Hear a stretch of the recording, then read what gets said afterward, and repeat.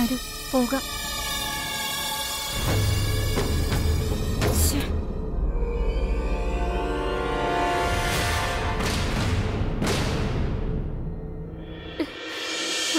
ഭഗവതിയുടെ കൃപ കൊണ്ട് എല്ലാം നല്ല രീതിയിൽ നടന്നു. ഓം ശക്തി. പൗർണമി? എന്ത് പറ്റി പൗർണമി? ആരെങ്കിലും കുറച്ച് വെള്ളം എടുത്തോണ്ട് വാ.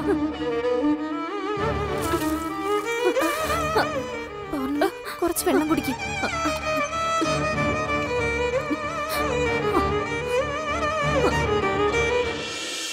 കലേ എനിക്ക് പൂക്കോഴി താണ്ടാൻ സാധിച്ചോ? സാധിച്ചു പൗർണമി.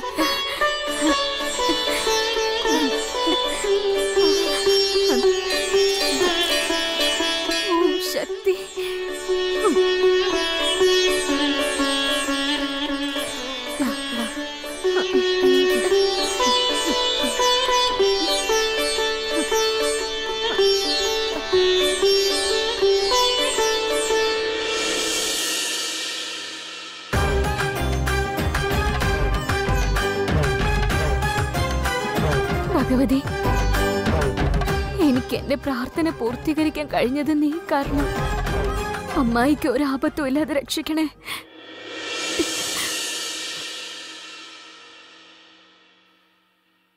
ഡോക്ടറെ മിസ്റ്റർ മുരളീകൃഷ്ണൻ ഇത്രയും നല്ലൊരു റിസൾട്ട് ഞാൻ പോലും പ്രതീക്ഷിച്ചില്ല. ഷീസ് പെർഫെക്റ്റ്ലി ഓൾ റൈറ്റ് നിങ്ങളുടെ എല്ലാവരുടെയും പ്രാർത്ഥന കാരണമാണ് അവർ ഇത്രയും പെട്ടെന്ന് ക്യൂർ ആയത്. ഒരുപാട് നന്ദിയുണ്ട് ഡോക്ടർ. നിങ്ങളൊക്കെ ദൈവത്തോട് പ്രാർത്ഥിക്കാൻ പറഞ്ഞാലും ആ ദൈവത്തോടൊപ്പം ഞങ്ങൾ വിശ്വസിക്കുന്നത് നിങ്ങൾ ഡോക്ടർമാരിലും കൂടിയാ. അതുകൊണ്ട് തന്നെയാ രക്ഷിക്കണമെന്ന് നിങ്ങളുടെ മുമ്പിൽ വന്ന് കൈകൂപ്പി പറയുന്നേ. ഒരിക്കൽ കൂടി മനസ്സിലെ വിശ്വാസം ദൈവം അറിയാതെ ഈ ഭൂമിയിൽ ഒരു ഇല പോലും അനങ്ങില്ലാന്ന് എല്ലാ അർത്ഥത്തിലും ഞാനൊരു വിശ്വാസിയാണ്. നമ്മളൊക്കെ വെറും ഉപകരണങ്ങൾ മാത്രമാണ്. ജീവിതമാകുന്ന നാടകത്തിൽ നമ്മളൊക്കെ വെറും അഭിനേതാക്കൾ മാത്രം. പുല്ലേട്ട പ്രാർത്ഥനയൊക്കെ നല്ല രീതിയിൽ നടന്നു. പൂക്കുഴിയിൽ ഇറങ്ങിയ തീർത്ഥം കൊണ്ടുവന്നിട്ടുണ്ട്. ഇതിലെ ഭസ്മവും ഉണ്ട്.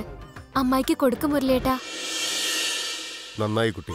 നിന്നെപ്പോലൊരു മരുമകൾ ഉള്ളിടത്തോളം കാലം നിന്റെ അമ്മായിയെ നൂറ് വയസ്സ് വരെ ആർക്കും ഒന്നും ചെയ്യാൻ കഴിയില്ല. ഡോക്ടർ പറഞ്ഞത് സത്യമാണ് മണിക്കുട്ടി നിന്റെ ഇപ്പോഴത്തെ അവസ്ഥയിൽ ഇങ്ങനെയൊരു ത്യാഗത്തിന് നീ മുതിർന്നത് സത്യമായിട്ടും വലിയൊരു കാര്യം തന്നെയാ. മനസ്സ് തുറന്നു പറയാ. മണിക്കുട്ടി ഇന്ന് ചെയ്ത പ്രാർത്ഥന കൊണ്ട് നേർച്ച കൊണ്ട് മാത്ര ചിറ്റ ജീവിതത്തിലേക്ക് തിരിച്ചു വന്നേ.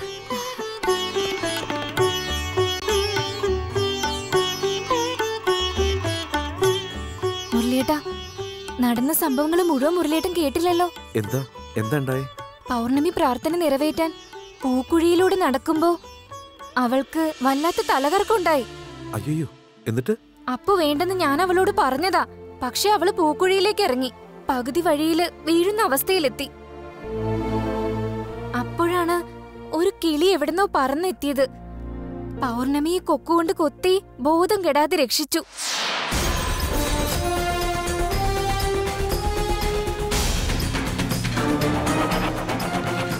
അത് മാത്രമല്ല കേട്ടോ വെള്ളത്തിൽ പോയി ചിറക് നനച്ച് പൗർണമിയുടെ മുഖത്തേക്ക് കൊണ്ടുവന്ന് തെറിപ്പിച്ചു.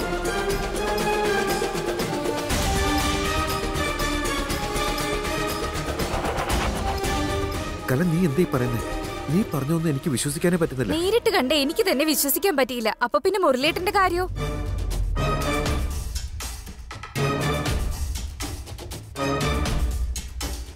മണിക്കുട്ടി നിന്റെ ഉള്ളിൽ ഒരു ദൈവിക ശക്തി ഉണ്ടെന്നുള്ളത് ഒരിക്കൽ കൂടി തെളിഞ്ഞിരിക്കുക എനിക്കൊന്നു മാത്രമേ പറയാനുള്ളൂ. നിന്റെ പ്രാർത്ഥനയുടെയും നേർച്ചയുടെയും ശക്തി കൊണ്ടാ ചിറ്റ വീണ്ടും ജീവിതത്തിലേക്ക് തിരിച്ചു വന്നേ. മുല്ലേട്ട ഇതാ. തീർത്ഥവും ഭസ്മവും ഉണ്ട്. അമ്മായിക്ക് കൊടുക്ക്. ഓപ്പറേഷൻ നന്നായിട്ട് കഴിഞ്ഞെന്നും ചിറ്റയ്ക്ക് കുഴപ്പമില്ലെന്നും ഡോക്ടർ ഇപ്പൊ പറഞ്ഞതേ ഉള്ളൂ. പക്ഷെ ഞങ്ങളാരും ഇതുവരെ ചിറ്റയെ കണ്ടില്ല. ദൈവാംശമുള്ള മണിക്കുട്ടി തന്നെ ആദ്യമായിട്ട് ചെന്ന് ചിറ്റയെ കണ്ടാൽ മതി. നിന്റെ കൈകൊണ്ട് നീ തന്നെ ഇതെല്ലാം ചെയ്തു കൊടുക്കുക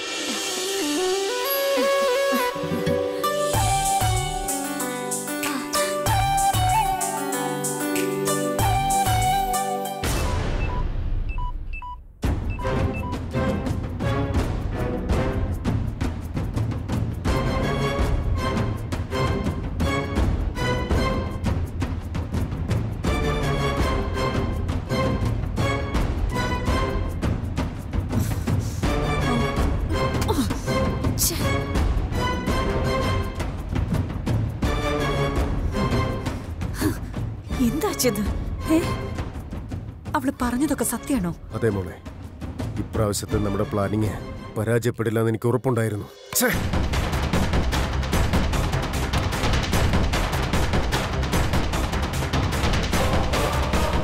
എന്തെങ്ങനെയൊക്കെ? ആ നാശം പിടിച്ച കിളി എവിടുന്നാ വന്നേന്നറിയില്ല എല്ലാ പ്ലാനും കലക്കിയിട്ട് അത് പറന്നു പോയത്? അതിന്റെ പ്രവൃത്തി കണ്ടിട്ട് ഞങ്ങൾക്ക് പോലും വിശ്വസിക്കാൻ പറ്റിയില്ല. ഒരമ്മ ആപത്തിൽ പെടുന്ന തന്റെ കുഞ്ഞിനെ എങ്ങനെയൊക്കെയാണോ സഹായിക്കുന്നത് അതേപോലെ ആ പക്ഷി ചെയ്തത്. പോടി പ്രാന്തി. കിളി അമ്മയായത് എപ്പോഴാണ്? ഒരു ചവണ കൊണ്ടതിന് അപ്പ തന്നെ കൊല്ലാനുള്ളതിന് പകരം വായി നോക്കി നിന്ന് വന്നിരിക്കുന്നു. അത് അവിടെ നടന്നുകൊണ്ടിരുന്ന ചടങ്ങുകളൊക്കെ നിമിഷ നേരം കൊണ്ട് തീർന്ന് ഞങ്ങൾ മനസ്സിൽ കണക്കൂട്ടുന്നതിന് മുമ്പ് എല്ലാം അവസാനിച്ചു. അത് മാത്രമല്ല ആ സമയത്ത് നമ്മൾ എന്ത് പ്ലാൻ ചെയ്യാനാ? നമ്മൾ എന്ത് ചെയ്താലും ശരി. ആ കിളി അത് സമ്മതിക്കുന്നു തോന്നണ്ടേ ആരോ എവിടുന്നോ നന്നായിട്ട് പരിശീലിപ്പിച്ചാ വിട്ടിരിക്കുന്നത്. ആഫ്റ്റർ ഓൾ ഒരു കിളിയെ പറ്റിയാണ് ഇങ്ങനെയൊക്കെ പറയുന്നത്. എന്റെ കയ്യിലെങ്ങാൻ അതിനെ കിട്ടിയ സൂപ്പ് വെച്ച് തരാം. നിങ്ങൾ ചൂടോടെ കുടിക്കും. ഓരോ പ്രാവശ്യം എന്തെങ്കിലും ഒരു കാരണം. ഇതെല്ലാം എവിടെ നിന്ന് വരുന്നു എന്നറിയില്ല. അവളെ ഒന്നും ചെയ്യാൻ പറ്റുന്നില്ല. എങ്ങനെങ്കിലും ആ പൗർണമിയുടെ കഥ കഴിക്കണം.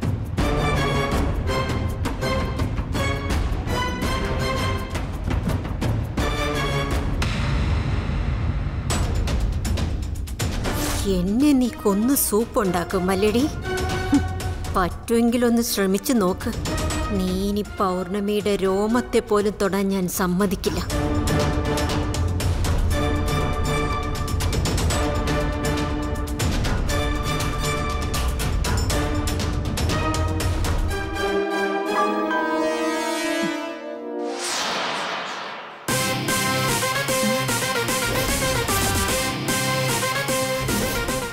മഹേഷ് എന്തിനാ ഞാൻ വന്നു എന്ന് മെസ്സേജ് അയക്കുന്നത് ഒരു പക്ഷേ അമ്പലത്തിൽ നിന്ന് വരുന്ന വഴിക്ക് സെൻഡ് ചെയ്തതായിരിക്കും. എന്താണോ എന്തോ?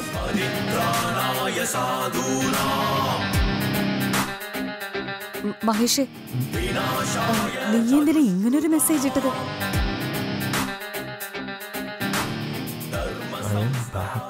എന്റെ ഫോണിൽ അത് മാത്രമല്ല സമയം നോക്കി ഇപ്പഴാ വന്നത്. അല്ല മഹേഷ് നിന്റെ ഫോൺ എവിടെ? കോറിഡോറിൽ ചാർജ് ചെയ്യാൻ വെച്ചിരിക്കുക അതിങ്ങടുത്തെ ഞാൻ എടുത്തിട്ട് വരാം. ദാ ഇപ്പൊ വന്നതേ ഉള്ളൂ.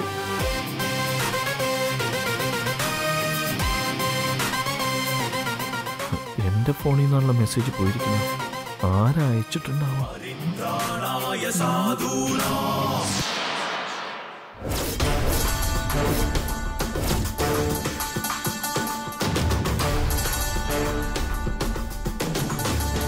അച്ഛാ എന്താ മോളെ? മഹേഷിന്റെ സെല്ലിൽ നിന്ന് എനിക്ക് ഇത്രയും ധൈര്യമായിട്ട് മെസ്സേജ് അയക്കാൻ ഒരാൾക്ക് മാത്രമേ പറ്റൂ.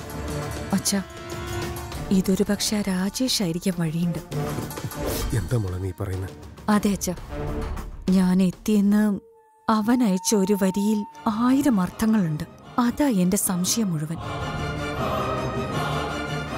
അതേടി. ആ മന്ത്രവാദിയുടെ കെട്ടിൽ നിന്ന് ഞാൻ പുറത്തു വന്നടി. എന്നെ അടച്ചിട്ട കുപ്പിയിൽ നിന്ന് ഭഗവതിയുടെ അനുഗ്രഹത്തോടെയാണ് ഞാൻ വന്നിരിക്കുന്നത്.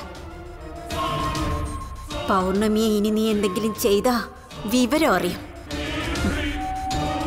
മുരളിയേട്ടന്റെ മുൻപിൽ നീ അണിഞ്ഞിരിക്കുന്ന മുഖം മൂടി വലിച്ചു കീറി നീ ആരാണെന്ന് ഞാൻ കാണിക്കും. ഐ എം ബാക്ക്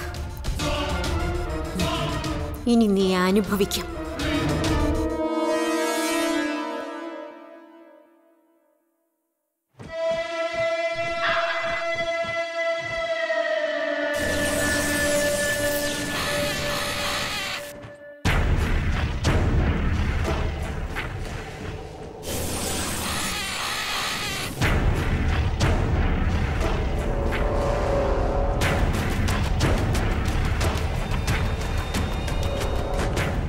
എടീ ശ്വേതേ മന്ത്രവാദം ചെയ്ത് എന്നെ വീട്ടിനകത്തേക്ക് കേറ്റാത്ത വിധത്തിലാക്കിയല്ലേ? നമുക്ക് കാണാം. നീ കുഴിച്ചിട്ടിരിക്കുന്ന ആ മാന്ത്രിക തകിടിനി എത്ര നാൾ എന്നെ മാറ്റി നിർത്തുമെന്ന് എനിക്ക് കാണണം. അതിന്റെ ശക്തി നശിപ്പിച്ച് വീടിനകത്ത് കയറി നിന്നെ ഞാൻ ശരിയാക്കും. ഇനി എത്ര നാൾ ഇങ്ങനെ വീടിനകത്ത് അടച്ചിരിക്കുമെന്നും എനിക്കറിയണം. പുറത്തേക്ക് നീ ഉണ്ടാക്കുന്ന ഒരു പ്ലാനും നിറവേറാനും പോകുന്നില്ല. നിന്റെ വരവിന് വേണ്ടി ഞാൻ ഇവിടെ തന്നെ കാത്തിരിക്കും.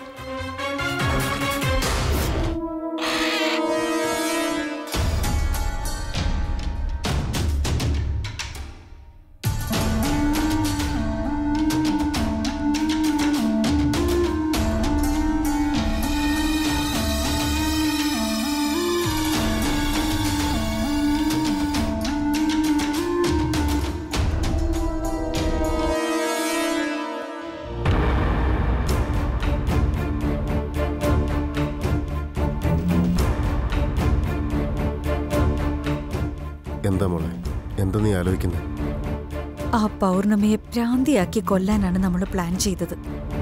ഒടുവിലൊന്നും നടന്നില്ലല്ലോ അച്ഛ. എന്റെ മൊബൈലിലേക്ക് അയാം ബാക്കെന്ന് ആരായിരിക്കും മെസ്സേജ് അയച്ചിരിക്കാന്ന് എത്ര ചിന്തിച്ചിട്ടും എന്താ ചെയ്യാന്ന് ഒരു പിടിയും കിട്ടുന്നില്ലല്ലോ അച്ഛ. സാരമില്ല മോളെ. ഒറ്റയടിക്ക് അവളുടെ കഥ തീർക്കാനുള്ള എന്തെങ്കിലും ഒരു പ്ലാനിങ് നമുക്ക് ഉടനെ ചെയ്യാം. ആരും പ്രതീക്ഷിക്കാത്ത ഒരാളെ കൊണ്ട് തന്നെ നമുക്ക് വർക്കൗട്ട് ചെയ്യിപ്പിക്കണം. അതിനിപ്പോ ആരെ കിട്ടുമെന്ന് ഞാൻ ആലോചിക്കുന്നു?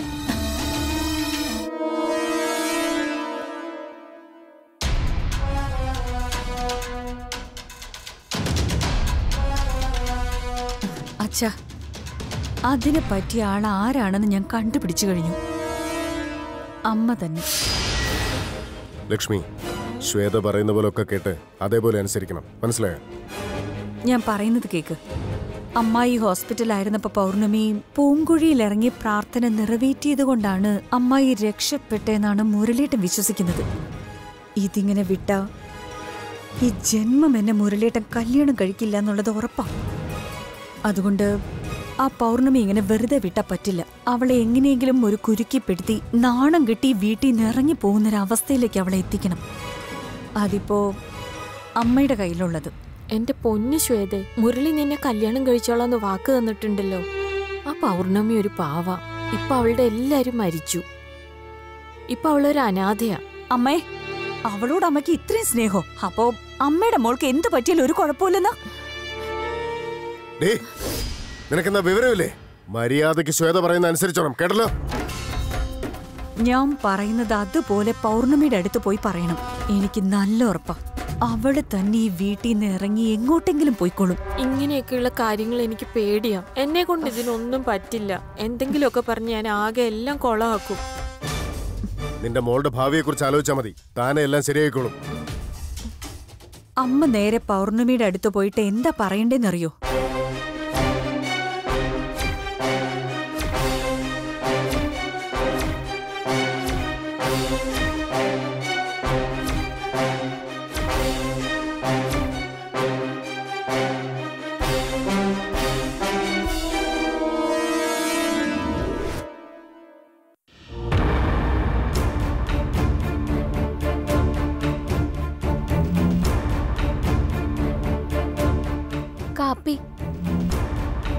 അവിടെ വെച്ചേക്ക് പൗർണമി. ഞാൻ കുറച്ച് കഴിഞ്ഞ് കുടിച്ചോളാം.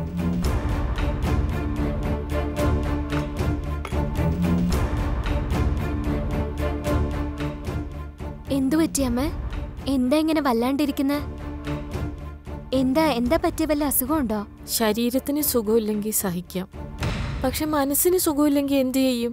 അത് ശരിയാക്കാൻ യാതൊരു മരുന്നുമില്ലല്ലോ ആരോടും പറയാൻ പറ്റാത്ത വിഷമങ്ങളുമായിട്ടാ ഞാൻ എന്റെ ജീവിതം മുന്നോട്ട് കൊണ്ടുപോകുന്നത്. നിനക്ക് എന്നോട് ചോദിക്കാനെങ്കിലും തോന്നിയില്ലോ? മനസ്സിന് വല്ലാത്ത വേദനയുണ്ട് മോളെ. അമ്മ വിഷമിക്കണ്ട. അമ്മയുടെ മോളായിട്ട് തന്നെ എന്നെ കണ്ടാ മതി. അമ്മയുടെ വിഷമം എന്താന്ന് എന്നോട് പറ. മനസ്സിലൊരല്പം ആശ്വാസമെങ്കിലും കിട്ടും. ഞാനിത് നിന്നോട് പറഞ്ഞു എന്നറിഞ്ഞ ശ്വേതയാളുടെ അച്ഛനും കൂടി എന്നെ ശരിപ്പെടുത്തി കളയും. എന്നെ അമ്മയെന്ന് വിളിച്ച് നിന്റെ അടുത്ത് എനിക്ക് ഒന്നും ഒളിപ്പിക്കാൻ കഴിയുന്നില്ല. കാര്യം എന്താന്ന് വെച്ചാ ഇന്നലെ ശ്വേതയുടെ ജാതകം എടുത്ത് ഒരു ജോത്സ്യന്റെ അടുത്ത് കൊടുത്തു നോക്കിച്ചു. അദ്ദേഹം ശ്വേത ഏതോ ഒരു പെണ്ണിനെ വല്ലാതെ ദ്രോഹിക്കുന്നുണ്ടെന്നും അവളുടെ ജീവിതം നശിപ്പിക്കാൻ ശ്രമിക്കുന്നുണ്ടെന്നും പറയുന്നു. ആ പെൺകുട്ടി വേറെ ആരുമല്ല മോളെ. നീ തന്നെയാണ് എന്റെ മനസ്സ് പറയുന്നത്. അതുകൊണ്ടാണ് ശ്വേതയുടെ കല്യാണം ഇങ്ങനെ നീണ്ടുപോകുന്നത്. ഇനി എന്തെങ്കിലും അത് നടക്കുന്നുള്ള വിശ്വാസം പോലും എനിക്കില്ല. മുരളീകൃഷ്ണനെ കെട്ടാനുള്ള യോഗം ദൈവം നിന്റെ തലയിൽ എഴുതിയിരിക്കുന്നത്. അത് ആർക്കും മാറ്റാൻ പറ്റില്ല. ആ വിധിയെ മാറ്റി എഴുതാൻ ശ്രമിച്ചതുകൊണ്ടാ ശ്വേത ഇപ്പൊ ഇങ്ങനെ കഷ്ടപ്പെടുന്നത്. അതുകൊണ്ട് അവളുടെ മനസ്സ് മാറണം. അവൾ വേറെ ആരെങ്കിലും കല്യാണം കഴിക്കണം. ഇനി എനിക്ക് ദൈവത്തോടുള്ള പ്രാർത്ഥന ഇതേ ഉള്ളൂ. അവളുടെ വാശിക്ക് ഒരു കുറവുമില്ല അവളെ എങ്ങനെ പറഞ്ഞു മനസ്സിലാക്കുന്ന എനിക്ക് ഒരു പിടിയുമില്ല എന്റെ ചേട്ടന്റെ മോനൊരു ശങ്കരനുണ്ട്. വിദേശത്ത് പോയി പഠിച്ചിട്ട് വന്നവനാ. ഇവിടെ നല്ലൊരു ജോലിയും കിട്ടിയിട്ടുണ്ട്. നല്ല സമ്പാദ്യമുണ്ട് ശ്വേതയ്ക്ക് പറ്റിയ ചെറുക്കനാവൻ അവനെ കെട്ടാൻ ഞാൻ പറഞ്ഞതാ. ഞാനത് പറഞ്ഞാൽ അവൾക്ക് അപ്പ കലിതുള്ളൂ അവളുടെ അച്ഛനോട് പറഞ്ഞാൽ നിന്റെ ബന്ധുക്കൾക്ക് എന്റെ മോളെ തരില്ല. അവൾക്കിഷ്ടം മുരളീകൃഷ്ണനെയാണ്. അവനെ തന്നെ കെട്ടട്ടെ എന്ന് പറയുന്നു. ഇനി എത്ര നാളിങ്ങനെ കാത്തിരിക്കും പൗർണമി? നാട്ടുകാരോരോന്ന് പറഞ്ഞു തുടങ്ങി. ഇവളിവിടെ താമസിക്കുന്നത് പോലെ ശരിയല്ലെന്ന് അവർ പറയുന്നത്. പക്ഷെ അതിനെക്കുറിച്ചൊന്നും അവൾക്കോ അവളുടെ അച്ഛനോ യാതൊരു പ്രശ്നവുമില്ല ഇതിനിടയ്ക്ക് ഇടന്ന് ഞാനാ വേദനിക്കുന്നത്. നീ എനിക്കൊരു സഹായം ചെയ്തു തരണം. പറയമ്മേ ഞാൻ എന്താ ചെയ്യണ്ടേ? ശ്വേതയോട് സംസാരിച്ച് ശങ്കറിനെ കല്യാണം കഴിക്കാൻ സമ്മതം വാങ്ങണം. നീ പറഞ്ഞാൽ അവൾ കേൾക്കുമെന്ന് എനിക്ക് ഉറപ്പാണ് അയ്യോ എന്താ അമ്മ ഇത്? ശ്വേത ചേച്ചിക്ക് മുരളിയേട്ടന് ജീവനാന്നറിയില്ലേ? പിന്നെ ഞാനെങ്ങനാ? ഞാൻ ചോദിച്ചാ മുരളിയേട്ടനെ കല്യാണം കഴിക്കാൻ പ്ലാൻ ചെയ്തിട്ടാ ചേച്ചിയോട് അങ്ങനെ പറഞ്ഞെന്ന് എന്നെ തെറ്റിദ്ധരിക്കും. ഞാൻ അങ്ങനൊന്നും ചോദിക്കില്ല. നീ പറയുന്നത് എനിക്ക് മനസ്സിലാവുന്നുണ്ട്. പക്ഷെ എന്റെ മനസ്സ് ശ്വേതയുടെ കാര്യത്തിൽ വല്ലാത്ത വിഷമത്തിലാ. എന്ത് ചെയ്ത് അവളുടെ മനസ്സ് മാറുന്ന എനിക്കറിയില്ല. ആരോട് ചെന്ന് ഞാൻ പറയും? വിളിക്കാത്ത ദൈവങ്ങളില്ല. നേരാത്ത നേർച്ചകളുമില്ല. പക്ഷെ ഒരു ഫലവുമില്ല. അങ്ങനെ എന്തെങ്കിലും ചെയ്യാൻ പറ്റുന്നുണ്ടെങ്കിൽ നീ എനിക്കൊന്ന് പറഞ്ഞതാ. നിന്നെ എന്റെ മോളെ പോലെ കരുതി ചോദിക്കുക എന്നെ ഒന്ന് സഹായിക്കേ. നീ എന്താ ആലോചിക്കുന്നേ? അമ്മ ഇത്രയേറെ വിഷമിക്കുന്നതുകൊണ്ട് ഞാനൊരു കാര്യം പറയാം. നമ്മുടെ ഗ്രാമത്തിലെ ദേവീക്ഷേത്രത്തിൽ എന്തെങ്കിലും പ്രാർത്ഥിച്ചോണ്ട് നൂറ്റിയെട്ട് പ്രാവശ്യം പേപ്പറിൽ എഴുതി മാലയായിട്ട് കെട്ടി ദേവിയുടെ കഴുത്തിലിട്ടാ മതി. മുപ്പത് ദിവസത്തിനുള്ളിൽ നമ്മൾ പ്രാർത്ഥിച്ച കാര്യം നടക്കുമെന്നാ പറയാറ്. അങ്ങനെ പ്രാർത്ഥിച്ച പലർക്കും ഫലം കിട്ടിയിട്ടുണ്ട്. അമ്മ അതൊന്ന് ശ്രമിച്ചു നോക്ക്. പൗർണമി. ആ? ഞാൻ അങ്ങനെ എഴുതിയ. അത് ശ്വേത കണ്ടുപിടിക്കും. പിന്നെ അവൾക്ക് അത് മതി. എനിക്ക് വേണ്ടി ഈ കാര്യം നീ ഒന്ന് എഴുതി തരുമോ അയ്യോ അതെങ്ങനെ? പ്രാർത്ഥിച്ചത് ആരാണെന്ന് വെച്ചാ അവർ തന്നെ വേണം അതൊക്കെ ചെയ്യാൻ. നിനക്കറിയാലോ നീ എനിക്ക് എന്റെ സ്വന്തം മോളെ പോലെയാ. പിന്നെ എന്തിനാ എങ്ങനെയൊക്കെ പറയുന്നേ? രാത്രിയിലിരുന്ന് നീ അത് എഴുത്. കാലത്ത് തന്നെ അമ്പലത്തിൽ കൊണ്ടുപോയി കൊടുക്കാം. ഇതിനെപ്പറ്റി നീ ആരോടും പറയണ്ട. ഞാനും പറയില്ല. ശരിയമ്മേ. നീ സമ്മതിച്ചല്ലോ. എന്റെ മനസ്സിലെ പാതി ഭാരം ഇറങ്ങിയ പോലെയായി.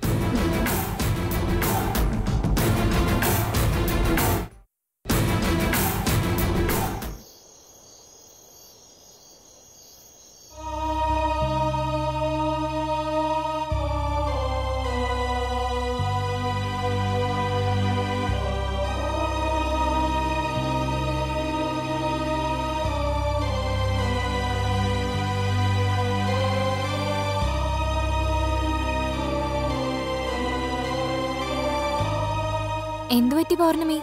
നീ എന്താ ഇവിടെ ഇരിക്കുന്നേ? ഉറക്കം വരുന്നില്ലേ? ഇല്ല കലേ. നീ പോയി കിടന്നോ. ശരി പൗർണമി. ആ പിന്നെ? നാളെ നേരം വെളുത്ത ഉടനെ ഒന്ന് മുത്തശ്ശി കാണാൻ പോണെന്നുണ്ട്. നീയും വരുന്നോ? ഇല്ല കലേ. നീ പോയിക്കോ. ശരി. പെട്ടെന്ന് പോയി കിടന്ന് ഉറങ്ങിക്കോ.